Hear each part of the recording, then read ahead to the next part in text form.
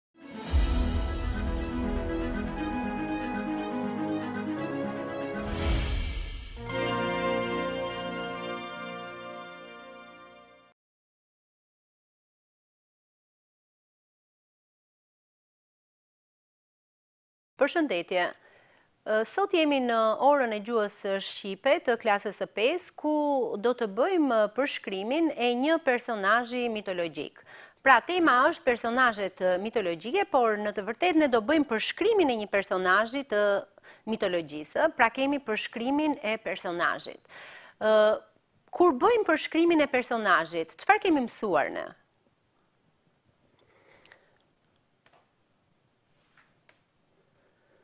Çfarë është ajo që ne duhet të bëjmë kur bëjmë përshkrimin e personazhit, ë? Së pari ne duhet të bëjmë përshkrimin e tij të pamjes fizike. Është shumë e rëndësishme kjo, sepse a hyn pamja fizike tek përshkrimi? Sigurisht që hyn. Atëherë, tjetër, çfarë do të bënim? Do të bënim përshkrimin e karakterit të këtij personazhi dhe gjithashtu dhe të gjendjes shpirtërore të tij, Sepse këto janë tre elementë të cilat na japin figurën e një personazhi në tërësi. Kjo temë që unë kam zhvilluar sot, në fakt mua personalisht më pëlqen shumë dhe shpresoj që këtë ta kam arritur, ta kem realizuar në mënyrë të tillë që t'jua përcjell edhe juve këtë material sa më mirë që të kuptoni se si bëhet përshkrimi një personazhi në të gjithë detajet e saj. Unë kam zgjedhur një personazh që në fakt në këtë pamje flet shumë. Është Poseidoni. Është një personazh mitologjik, i cili ishte zot i detrave dhe i tërmeteve. Në kohët e lashta ne e kemi mësuar dhe në histori. Njerëzit nuk dinin të shpjegonin dukuritë natyrore, siç ishte për shembull shiu, rrufetë, tërmetet, t'i shpjegonte në mënyrë shkencore siç e bëjmë ne sot, Por, ai kishte krijuar disa figura mitologjike te të cilat besonte që ishin zotër të këtij fenomeni dhe ishin ata shkaktarët që ndodhnin këto fenomene. Dhe një nga këto figura është dhe Poseidoni, pra që siç thashë më sipër, ishte zot i deteve dhe tërmeteve. Dhe po ta shikoni, ai këtu në këtë pamje është në mes të detit. Shikoni figurën e tij, sa madhështore që është, ë? Pra, ashtu siç ishte zot i deteve, ai shpreh Me gjithë figurën e tij, pra shpreh pamjen e një deti të një deti të të tërbuar, të themi, ë, dhe pamja e tij këtu është vërtet e mrekullueshme. Ne do të bëjmë hap pas hapi përshkrimin e tij sipas të gjitha etapave që ne thamë sipër. Pra, do të përshkruajmë pamjen e tij fizike, do të përshkruajmë karakterin dhe gjendjen shpirtërore. Le të shohim pra të gjitha këto me radhë. Do ta shfaq përsëri pamjen, por së pari dua të bëjmë së bashku një grafik ose një klaster siç e quajmë ne, të kësaj figure, pra se si përshkruajmë ne pamjen fizike të Poseidonit. Le ta marrim me radhë. Kush ishte një nga pikat që na bëri përshtypje tek pamja e Poseidonit? Ishin flokët, ë? Si ishin ato? Ato ishin të trazuara si vetë dallgët e detit, ë? Tjetër, si ishin ato flokët e Poseidonit?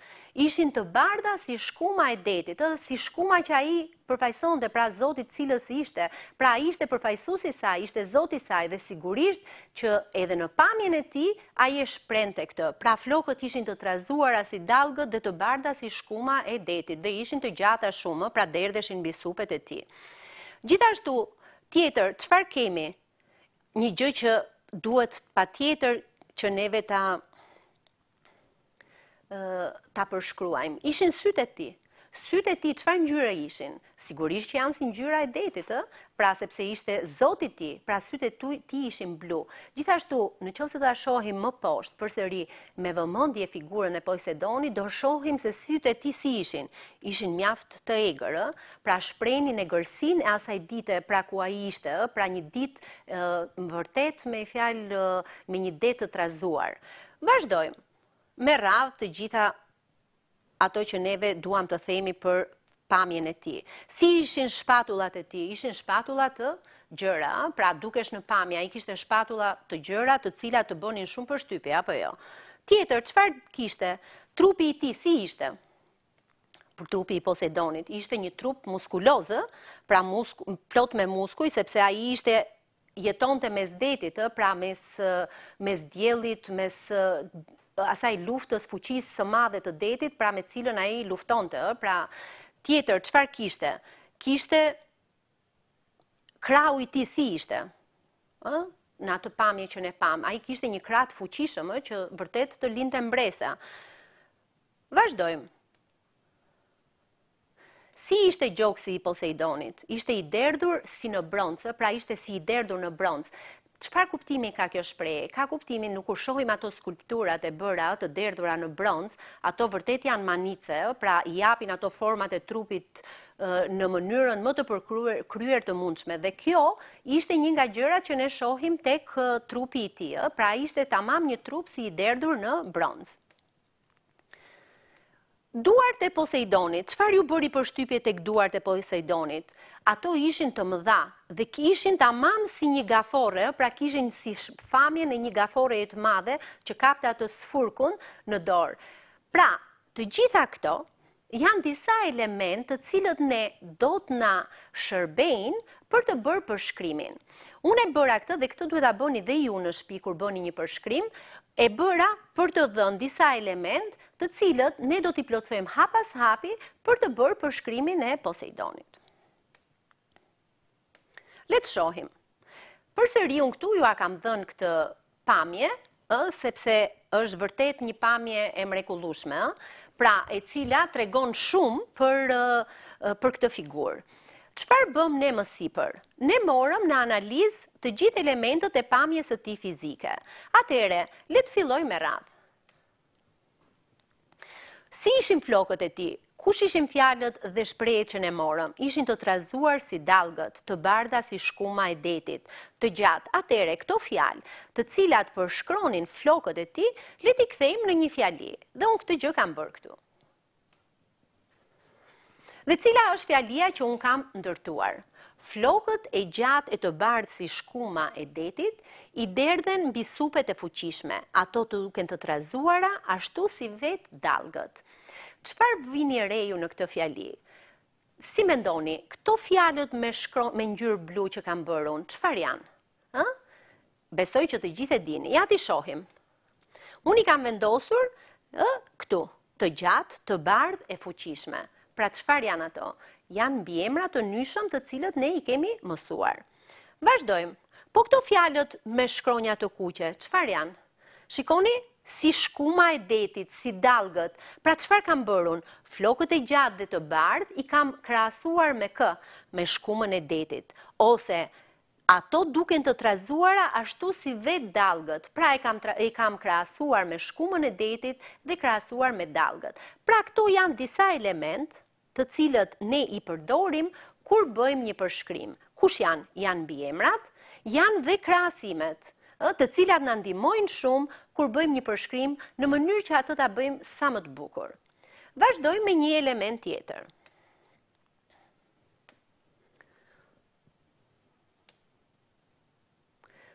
Kush ishte ajo që ne analizuam? Ishin sytë e tij?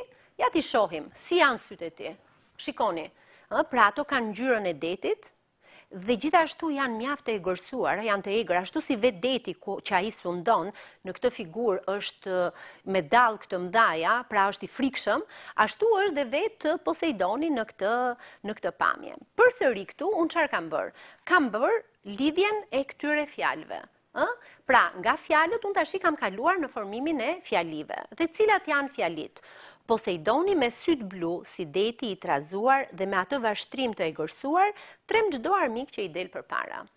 Pra, në këtë rast, përsëri çfarë kam bërë unë? Kam përdorur mbiemrat dhe krahasimet për të bërë përshkrimin. Dhe i kam vendosur këtu. Atëherë, kemi blu i trazuar të egërsuar. Çfarë mbiemrash janë këto? Janë mbiemra edhe të nyshëm dhe mbiemra të panyshëm. Këtë e kemi mësuar në mësimet e mëparshme. Gjithashtu këtu çfarë kemi? Si deti i trazuar, është një krahasim që unë pra sytë e tij i kam krahasuar me detin e trazuar, sepse vërtet ato pamje kanë ato, pra të japin Vërtet këtë ndjesi kur i sheh, ashtu si deti që është i trazuar janë edhe sytë e tij, ëh?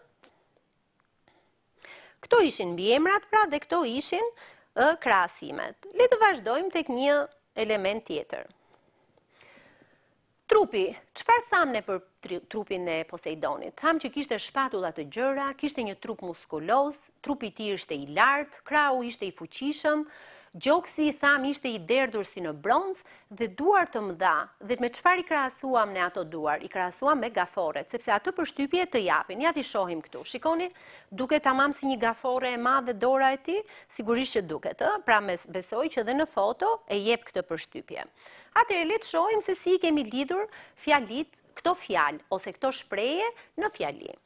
Trupi i tij i lartë, muskuloz, me shpatulla të gjëra dhe me gjoksin e derdhur si në bronz, tregon forcën e tij. Krahu i fuqishëm me dorën e madhe mbërthen si gaforre sfurkun e betejave. Përsëri kam bërë të njëjtën gjë. Me blu, çfarë kam bërë? Kam bërë mbiemrat, të cilët dhe në këtë rast i kam mbiemra të nyshëm dhe mbiemra të panyshëm. Kam bërë edhe çfarë tjetër? I kam bërë krahasimet si në bronz dhe si gaforre, ë? Pra kam bërë në të dyja rastet, ë, këto dy krahasime. Dhe kemi em, ato mbiemrat dhe çfarë ishin këto? Ishin krahasimet, ë? Le të vazhdojmë një hap tjetër. Karakteristika. E shohim figurën. Duke parë figurën, mund të flasim ne për zërin E dëgjojmë ne zërin kur shohim figurën? Jo, sigurisht që nuk e dëgjojmë. Por, duke parë figurën, mund të krijojmë një përshtypje se si mund të ishte zëri i tij? Sigurisht që mund ta krijojmë, ha? Ai zëri i tij duhet të ishte tamam si oshtima e detit, ë? Ashtu siç është deti në ditët e tij të frikshme, pra kur kur ato dallgët e mëdhaja me fjalë buçasin, ashtu ose oshtijnë, ashtu do të ishte dhe zëri i Poseidonit. Dhe le ta shohim. Atë që unë kam formuar, zëri i tij buçitës si valët e detit të trazuar përhapej kudo. Përsëri kam ndjekur të njëjtën rrugë. Ë, kam vendosur me blu mbiemrat, të cilët janë në këtë rast të nyjshëm dhe të panyjshëm, dhe çfarë tjetër dhe krahasimet. Në rregull? Pra, Kjo është ajo që unë ë, kam bërë. Pra, kemi mbiemrin e nyjshëm, e, ny, e panyjshëm dhe të nyjshëm, dhe si valët e detit është krahasimi. Gjithashtu, një element tjetër që na ndihmon për të bërë përshkrimin e, e figurës që ne po përshkruajmë, është dhe qëndrimi i tij, pra mënyra si ai qëndron, mënyra se si ai lëviz, le ta shohim këtu. Si e kam bërë unë këtë gjë? Qëndrimi i tij madhështor si një mal i lartë në mes të detit me dallgë të mëdha të magjeps. Poseidoni lëvizte si një përbindësh deti mes ujërave të thella. Le ta shohim figurën, pra. Na jep këtë ndjesi? Pra, A është tamam si një mal në mes të detit, pra është aq madhështor sa të jep ndjesinë sikur është një mal. Gjithashtu, mënyra si ai lëviz sikur është një përbindësh deti, ë, pra deti duket shumë i vogël para tij, ë, aq i madh është ai. Dhe në këtë mënyrë, me fjalë ne në këtë mënyrë e bëjmë përshkrimin e Poseidonit. Përsëri këtu kam përdorur mbiemrat, ë të cilët më ndihmojnë shumë në përshkrim, apo jo, madhështor, i lartë, të mëdha, të thella, ku kemi mbiemra të nyjshëm dhe mbiemra të panyjshëm. Gjithashtu kemi si një mal dhe si një përbindësh deti. Përsëri këtu kam dy krahasime, ku unë e kam krahasuar atë me një mal të lartë, pra, dhe e kam krahasuar gjithashtu me çfarë, e kam krahasuar me një përbindësh deti, sepse këtë përshtypje të jep ai.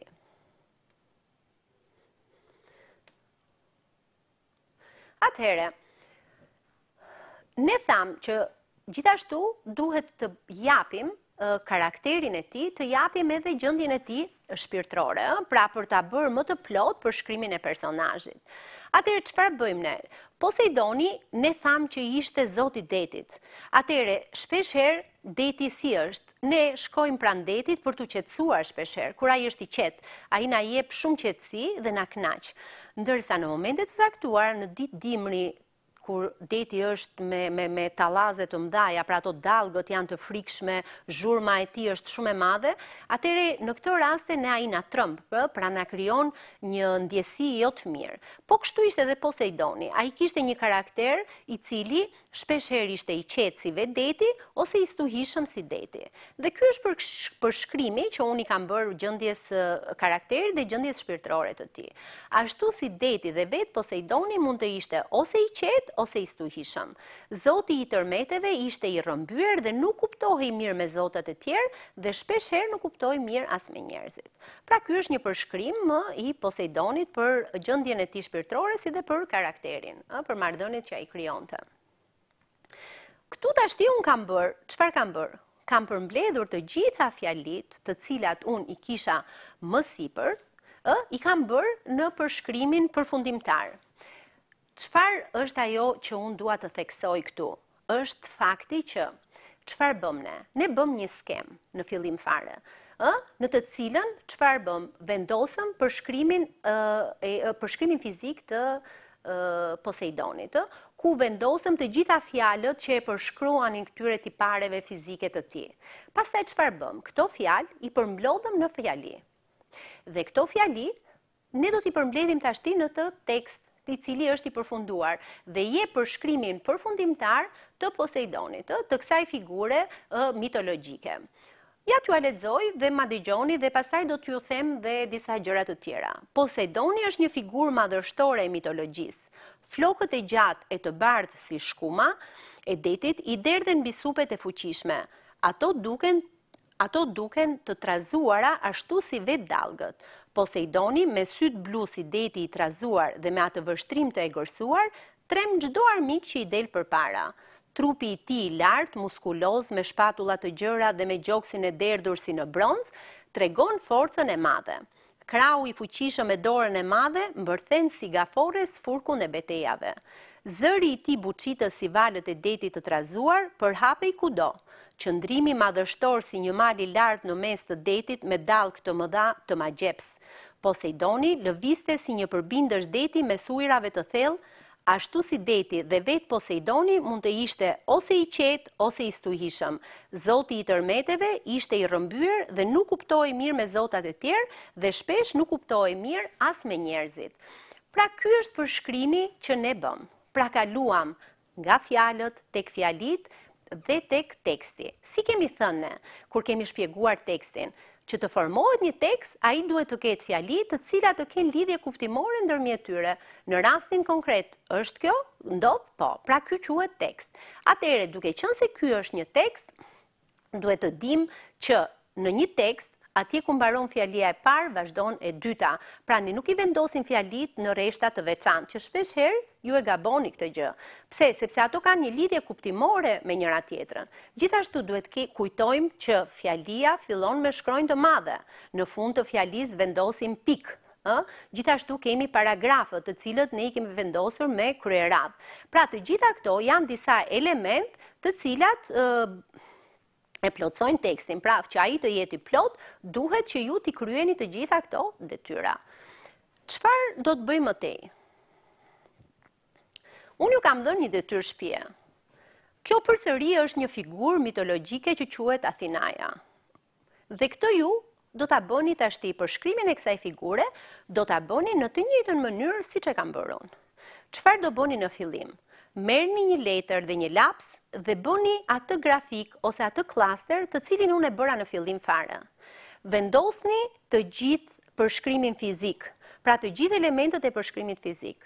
Vendosni fjalët të cilat mendoni që I përshtaten kësaj figure. Më pas, i lidhni ato në fjali. Dhe çfarë do të bëni? Do të përpiqeni të përdorni sa më shumë mbiemra, të nyjshëm dhe të panyjshëm. Gjithashtu, duhet të përdorni sa më shumë krahasime, sepse këto çfarë na bëjnë? Na pasurojnë gjuhën, apo jo? Dhe në këtë mënyrë, Këto fjali, në fund fare, i merrni dhe i bashkoni në një tekst, i cili do t'ju japi përshkrimin përfundimtar të figurës që ju jeni duke përshkruar. Pra, kjo është detyra që unë kam dhënë. Vështroni foton e dhënë, përshkruani portretin e gruas duke përdorur sa më shumë mbiemra dhe shprehje të figurshme. Pra është shumë e rëndësishme që ta vështroni me shumë kujdes figurën për të kapur elementet karakteristikë, ato elementë që e përfaqësojnë këtë si figurë. Ky ishte mësimi që unë kisha përgatitur për sot, shpresoj t'ju ketë pëlqyer dhe shpresoj t'ju ketë ndihmuar në përshkrimin e personazheve. Provojeni dhe besoj që do t'ia dilni. Mirutakofshim në programet e tjera.